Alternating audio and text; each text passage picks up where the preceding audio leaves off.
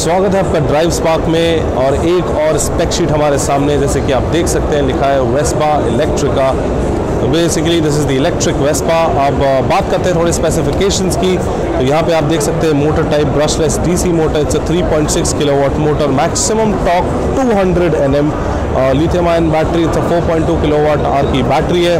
Battery charging time is 3.5 hours to I guess a full charge 3.5 to 4 hours to a full charge maximum speed uh, it has a, a speed of 70 kilometers an hour in power mode and uh, 45 kilometers an hour in the eco mode range की बात करें तो 100 का range है eco mode में और 70 का range है पावर मोड में front disc brake 200 mm rear disc brake uh, 140 mm wheels front is 110 rear is 120 uh, इसमें कनेक्टिविटी का भी आपको ऑप्शन दिया जाता है जो कि ऐप कनेक्टिविटी है Bluetooth connected Vespa from the mobile app you download the app and you get all the information about the vehicle. Speedometer is fully digital headlamp and the speedometer features.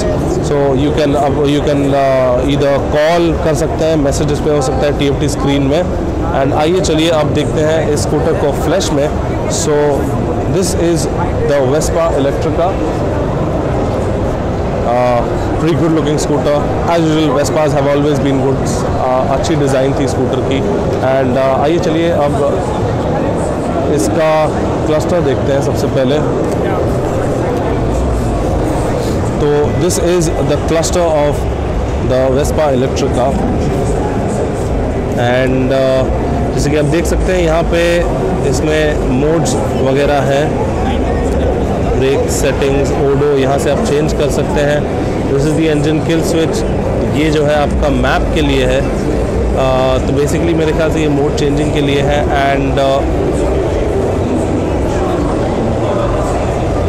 And यहाँ पे आप देखिए आपको switch gear quality में आपको यहाँ पे ये लाइट्स ये लाइट के लिए है and this is for the turn signal this is the horn it's it's a coloured instrument cluster जो कि काफ़ी अच्छा है एंड uh, मैंने आपको बाकी डिटेल्स दे दी अभी। चलिए इसका फ्रंट एंड चेक करते हैं। तो फ्रंट एंड में आप नोटिस करोगे इसको मिलता है एक फुल एलईडी हेडलैम्प क्लस्टर जो कि हाई बीम और के लिए अलग अलग स्लॉट्स दिए गए again you get D R Ls on either sides indicators जो कि आई गेस इंडिकेटर बल्ब जो है वो एलईडी नहीं है दो normal halogen bulb and uh, कुछ येलो कलर के एक्सेंट्स मिलते हैं इस पर येलो कलर का एक्सेंट एक्चुअली स्कूटर के चारों तरफ़ मिलेगा जैसे कि आप देख सकते हो.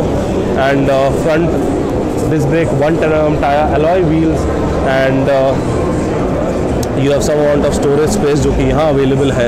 एंड आप देखिए यहाँ पे ये जो है इसका key slot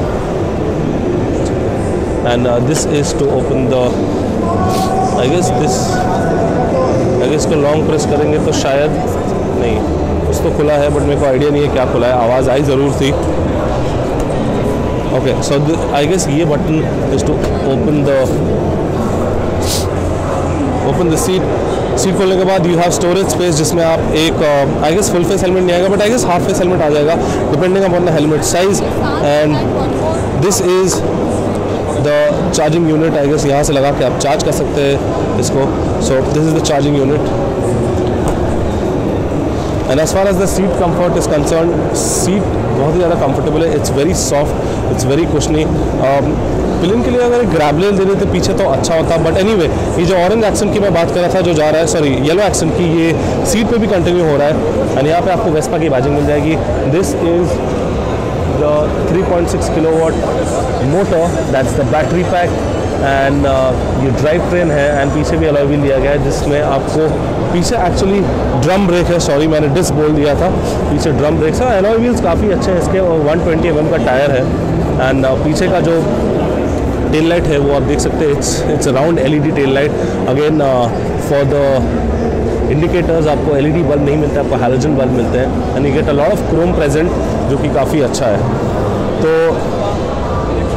जी हाँ दोस्तों this was the Vespa Elettrica and I hope आपको ये स्कूटर अच्छी लगेगी बहुत ही ब्रिलियंट लुकिंग और बहुत ही क्लासी लुकिंग स्कूटर है।